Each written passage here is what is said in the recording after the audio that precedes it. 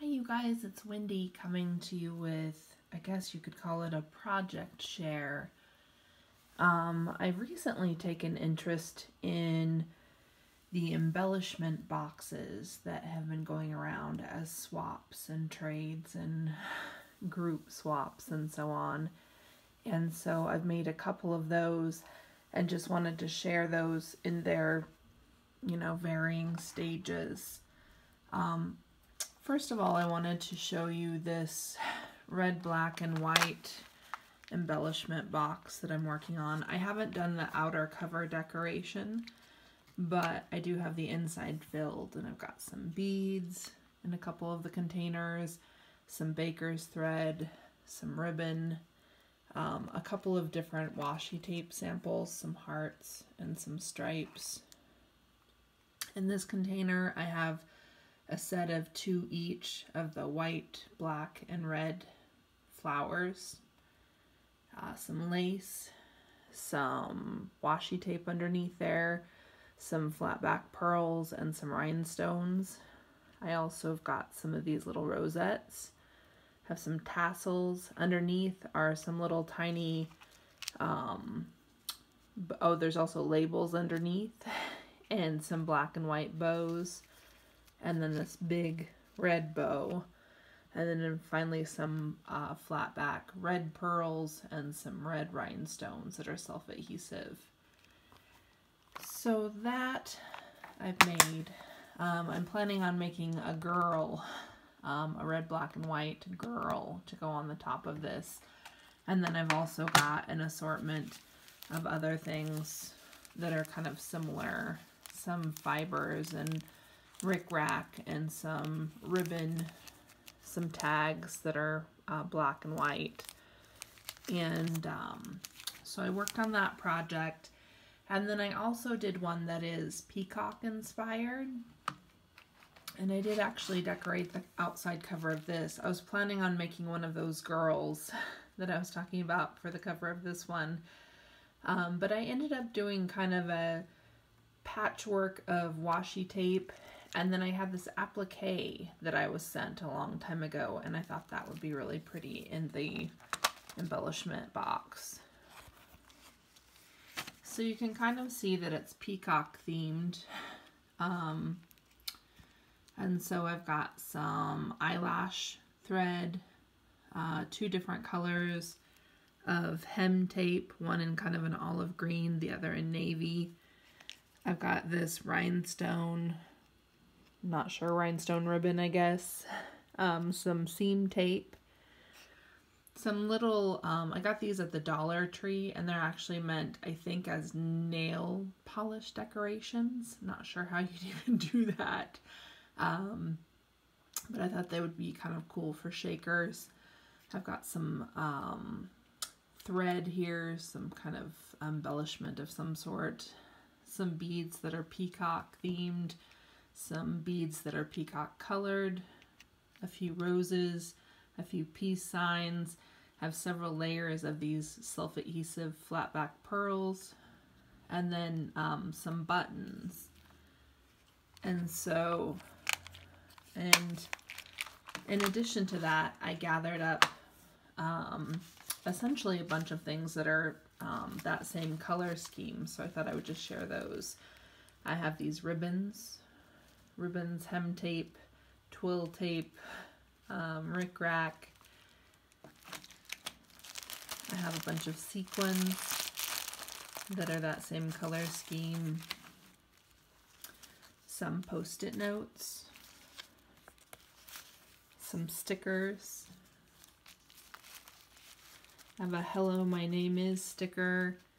The initials of the person that I'm sending it to. There's another sticker. This pretty playing card. Some file folder labels. Um, some cool crepe paper. Um, some more stickers, labels.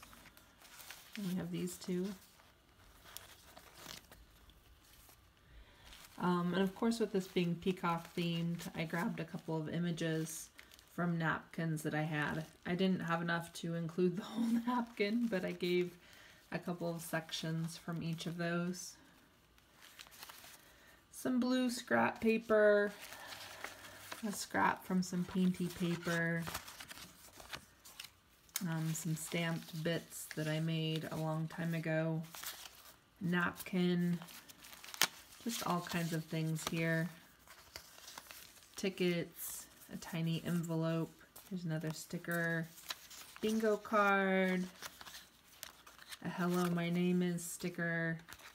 This is meant for handwriting practice and a napkin, which was my original inspiration. Message pad. Um, this is some sort of ledger paper that's meant to go in a um, organizer.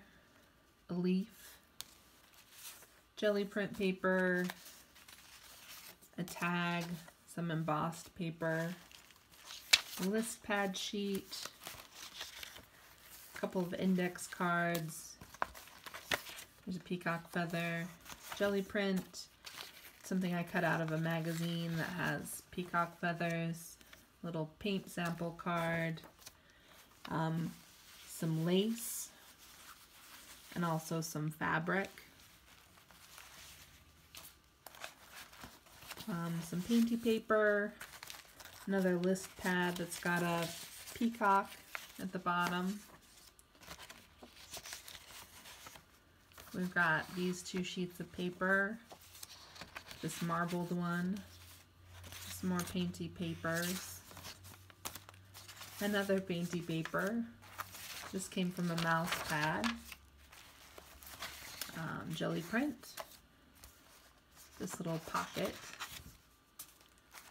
there's some more painty papers,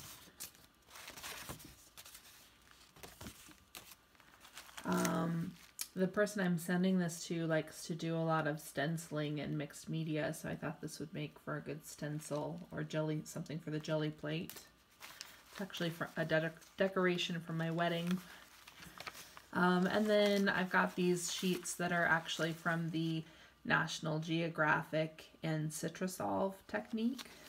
And those were kind of blue, blue in color or green in color, so I'm including those. This one was a some sort of tropical flower, and you can see it makes those little, I don't know, kind of pills up, and um, the CitraSolv removes the ink on the shiny National Geographic papers and leaves these little bubbles or cells. We have a piece of deli paper. We have these end papers, which you can see has got a wood finish. I have a doily a piece of grade paper, grade book paper, and then a couple of these fruit bags, um, which again I thought would be good for either spraying through or um, you can use them on your jelly plate.